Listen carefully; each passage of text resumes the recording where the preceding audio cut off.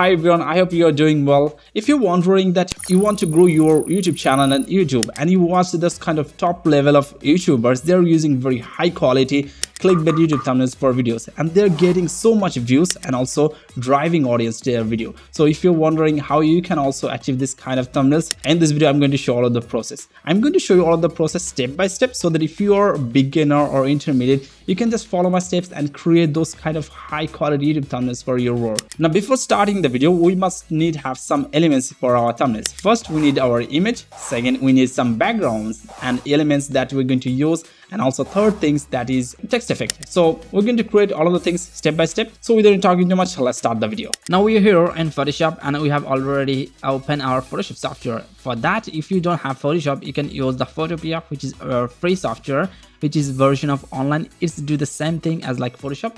For first we're going to go to the file new. And here as we always like to do i like to go with the full hd size a lot of people like to go with the hd version but for my preference i always like to go with the full hd for that resolution should be around 72 and give all the color mode and everything like it is what it is and then create now first we're going to use our images and also create the background to do that just like me for first i'm going to use this photo and just open it in photoshop now we need to be remove the background and do all the editing of our photos. To do that, just go to the uh, selection tool and quick selection. And here, I'm not going to use the quick selection tool. I'm going to directly use the selection mask. However, click over here and if you don't find that over here, just go to the select and there you can see this is the option and select it. Now, next step we're going to do, I'll just make a selection. To do that in a one click, select the subject now photoshop will going to do all the work and it will make a selection as perfect as possible our step is to just make sure that everything is perfectly okay for me i'm really happy with that. There's some areas should be correct. To do that i'm going to take the brush tool. If i click and drag with the plus you can see it is adding. And if i press alt or option in my keyboard and then i press it if i press you can see it's adding or just removing that part the red part we're going to remove our background. This is the background will be removed. Now our job is to make sure everything is okay and this part is to be okay also. Let's keep it how it is.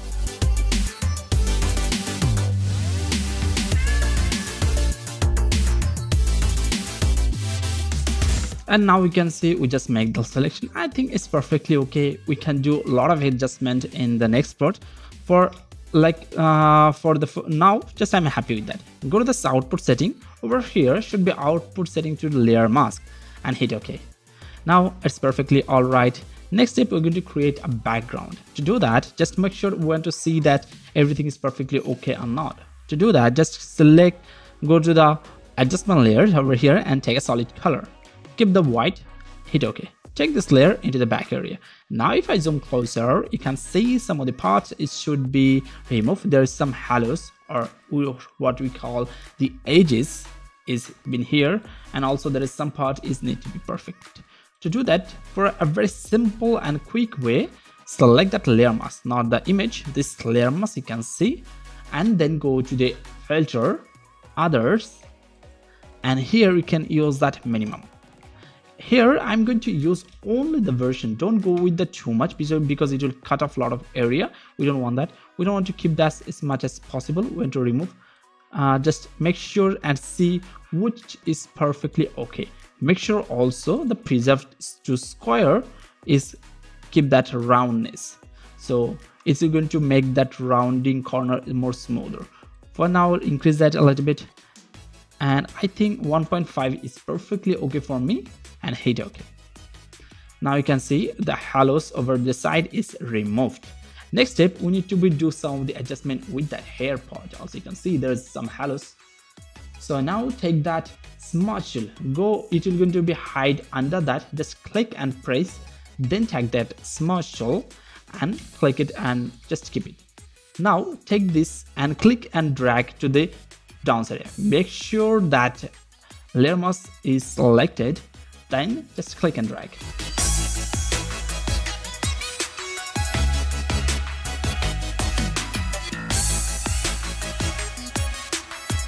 Now I think this is perfectly alright.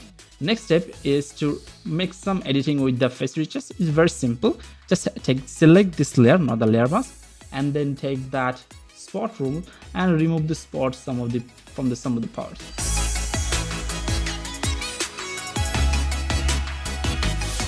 now here i'm going to edit on my face as like mr beast. If you see his thumbnail he, he's using so much polish and also like so much highlighted over his face. So i'm going to do the same thing with my face. To do that first i'm going to just make sure that color is okay. Uh, then just i'm going to take the brush tool create a simple blank layer over here then press the right button on your mouse and create a clipping mask select this one take the brush tool and also make sure the opacity under 5% around 5 to 6% is okay. Then click and just make a sample.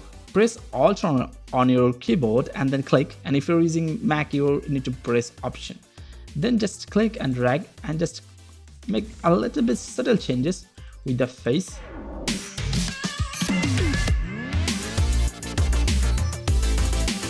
and I think it's okay. Next step, we're going to make our image a little bit smoother like as like Mr. Beast.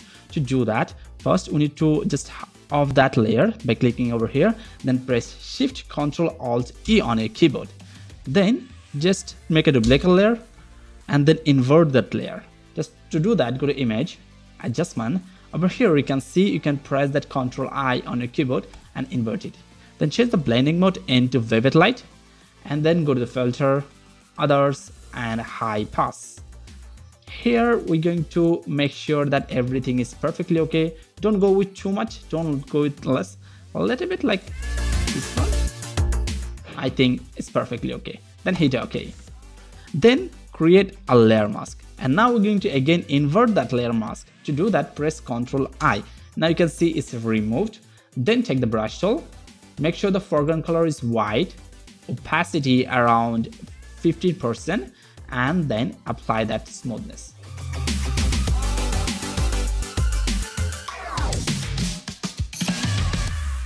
And that is okay. Next, we're going to take another adjustment layer. It's called curve. Take it and just increase the size a little bit over here. This part is called highlight and this is a darker part and that is okay also we can just make sure want to just don't want that much yellow in our face take the blue and I think it's perfectly okay. Next, we're going to apply camera filter in our face. To do that, just shift Control Alt E. You can use that shortcut key or then or you can in a very simple way because it's a very very beginner friendly tutorial. I'm going to select all of those, press right button on mouse and convert it then go to the filter and camera filter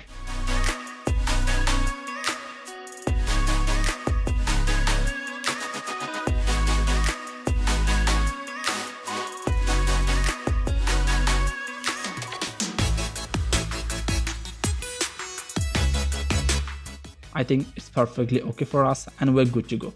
I think it's too much bright, we can adjust it in that feature. Now take that image and paste it over here press right button on your mouse and just reduce the size of that image and I think it's okay. Now next step is to create our background. To do that, first we're going to take an image from the Google. Just go to the Google. Now here in a Google, now we're going to search for like a background and just take any kind of background you like. For me, I'm going to choose from that for me i'm happy with this one. Uh, i think it's not free version. We need to have and i think this is perfectly okay. Mm, and just i'm going to save this image or just copy it. Then take that and make it a little bit bigger over here. And this is okay. We just want to do that. And then we're going to apply like blur over that image. Go to the filter blur apply gaussian blur. A little bit higher. Then again go to the adjustment layer take solid color. Over the time now we're going to apply a little bit bluish color. And then we're going to change our blending mode into multiply. And for here we can increase the color of the dye. Next we're going to use our graphics pack that i'm using. If you want to download that graphics pack you can just check the link in the description. Now here i'm going to apply that from the extra i need to be found out some of that. There's a lot of things i can use. I'm going to use that grid. Let's take this one. And here then change the blending mode into overlay. And now if i take our image i think it's a little bit brighter but we can adjust it in future. So i think this is okay right now. Next we're going to give another color over that because it's a little bit darker part. Create a blank layer over here. Then take the brush tool increase the size take that same color and apply it. And this is okay. Next step is to our create our glowing effect into with the model. To do that create another blank layer over here then fill it with the black color. To do that go to the edit fill here we can select that black and hit ok then change the blending mode into screen and create another blank layer. And now press the right button on your mouse and create a clipping mask then again go to the adjustment layer and take that gradient map. Here we need to be create a clipping mask over that using this one. So click here then change that color. This side should be black and this side should be color. Now click here and take the black color. And here take a white color. And over here just click and take a very bright color of blue and hit ok now hit ok over here. Now take this one. Just select this one. Take the brush tool. Be sure that you choose a white color. Opacity around 100% and click.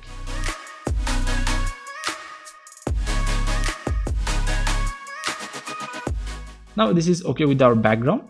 Next we're going to make another duplicate layer over this layer select this all then press alt or option on your keyboard take this into the front part now delete this one and then create another blank layer.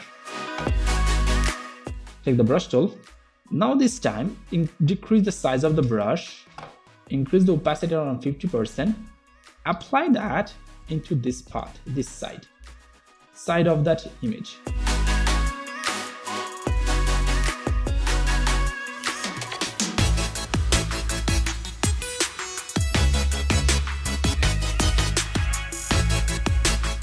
Okay now take that smudge tool and now do the same thing as like me and just apply that color adjust adjust it properly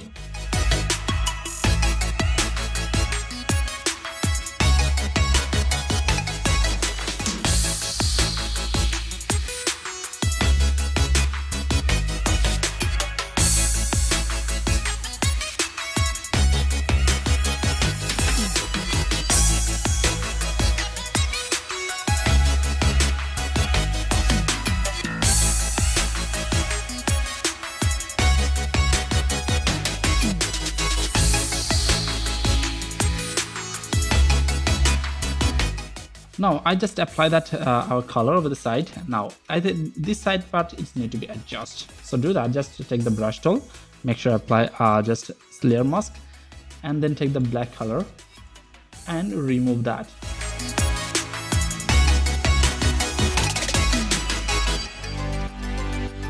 And I think uh, this is now okay. I don't just want to make sure that change the blending mode into screen I think color dodge is perfectly looking okay. Next step, we're going to apply our text into the thumbnail. Just apply first, change that color into white. Select this and change that font into, then take that and make it bigger. And press Ctrl and then just a little bit slide over here. And now we're going to apply our text effect over here. First select this one, plus double click over here, you can find that layer style option. You can also go to that FX icon and blending option.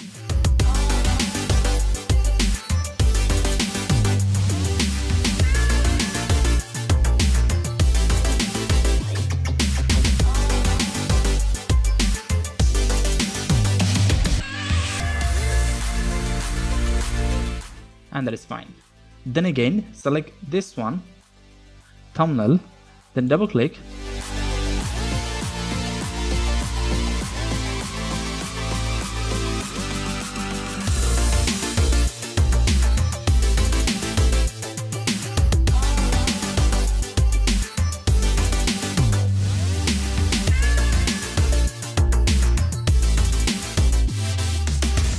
think this is perfectly okay. We want to just reduce the size of the gap of the stroke like a little bit minus 25 and also a little bit better.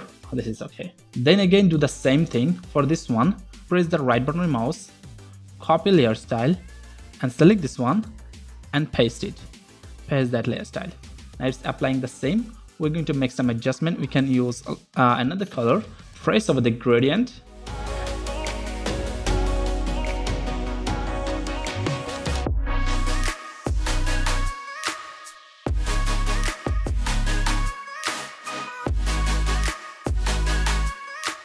and that is perfectly okay for that text effect. Next, we're going to apply some of the elements into our thumbnail. To do that, I'm going to use our graphics pack.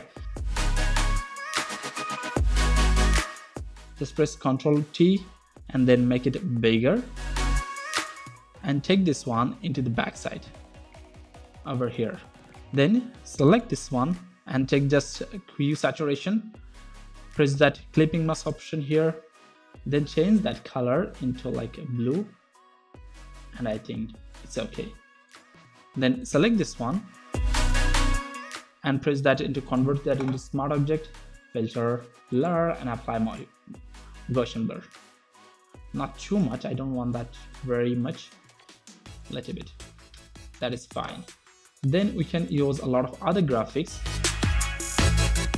and just make it a little bit bigger. Again, go to that and take the hue saturation, create a clipping mask.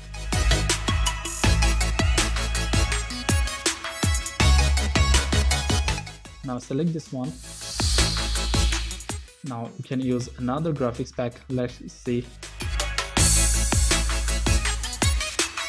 that I'm going to decrease the opacity a little bit and I think this is finally okay. Now we can we can use a lot of PNG elements over here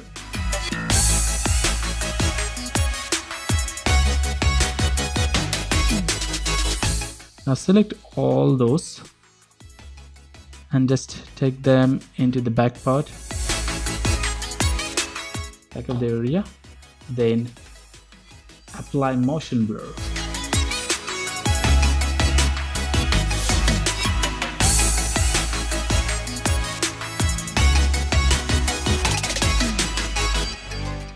there we go. You can see we're almostly done. Next we're going to do the final effect by using our camera filter. Just select this one press shift ctrl alt e to create a snapshot and then press right button mouse and convert it to smart object. Then again go to the filter camera filter. My camera filter is a very experimental things and you can just do all kind of experiment over here. Take the basic and just do all the editing and uh, try to do whatever you like. Now here, try to do whatever you like and apply all the colors and see which is good for your thumbnail.